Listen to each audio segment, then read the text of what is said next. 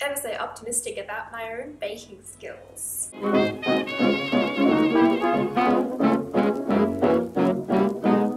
Hello everybody, I'm Miss MonMon and welcome back to my channel and my kitchen.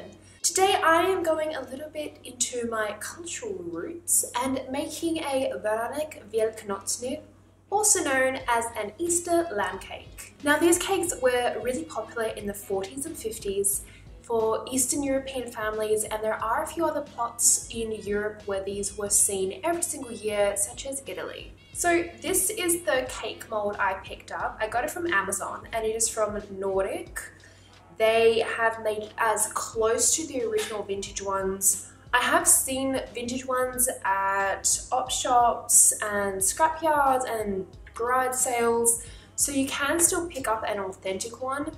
And basically, it is a full 3D lamb. But the thing that gets me is his face. I'm sorry, but his face is just hilarious. Now these would be served generally on Easter Sunday because it's a day you can have sweets and they are generally quite cute. I have seen some questionable outcomes but we're just gonna go with it and hope that it all comes out okay. Now I am using a recipe from the Polish Housewife. I will link it down below so you can follow along. We are ready to start so aprons on let's get started and hope for the best. For this cake, you need simple baking ingredients such as butter, sugar, eggs, flour, salt, baking powder and soda, buttermilk and some vanilla. Start by preheating your oven to 180 degrees. Then cream your butter and sugar. When you're happy, add one egg at a time, mixing well between eggs.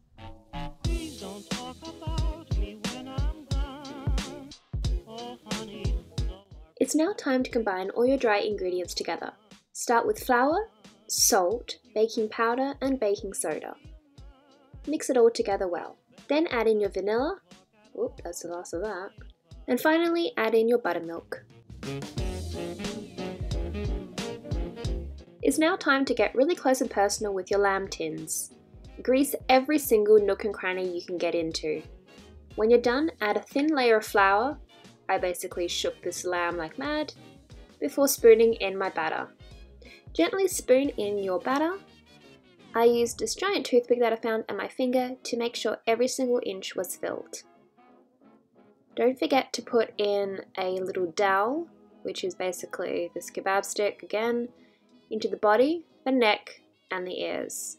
This will stop it cracking in future and will make taking it out of the pan really easy. Don't overfill your lamb. Put the back on and wrap its ears in aluminium foil so they don't burn in the oven. I weighed it down with this large orange pot so it doesn't explode. One hour later. After an hour of baking, let it cool and pop it out of its little pan. Make sure it's sitting up when you cool it so it doesn't squash. A few moments later. It's completely up to you how you decorate your lamb. I started by making a glaze out of milk and powdered sugar. When I laid my lamb down, I poured the glaze over its face, let it set, and then it did it two more times to make sure it had a really smooth surface. Then, using just normal piping and a flower tip, I piped on some wool. It's completely up to you how you decide to decorate your lamb. I made sure to pipe the wool all around its face trying to make it look as cute and round as possible. When I was happy, I got plain black icing and piped on eyes, a nose, and a little mouth. I tied on a cute ribbon, and to add a final flourish, I found some sugar roses in my baking drawer. I didn't want its feet to get cold, so I added some Easter grass. And I was done. Alrighty, so that is our Easter lamb cake done. It has taken me almost the entire day. I think it came out pretty cute. Sure, its face is questionable and it looks a little bit, it's homemade a bad way of describing something? She looks homemade. And that is all I have time for you guys today. I have loved testing out another vintage recipe and I think this is probably one of the ones that have turned out the best.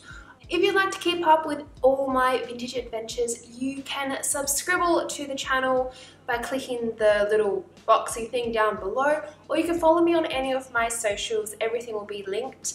As always, you can also find me on my blog, but until next week, Brian, stop scratching the furniture. Thank you.